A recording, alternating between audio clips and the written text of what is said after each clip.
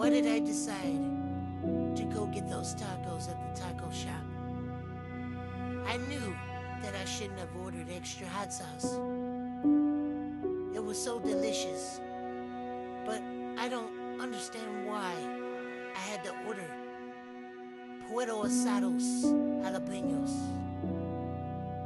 Now, as my stomach bubbles, I remember there's no more toilet paper in the house.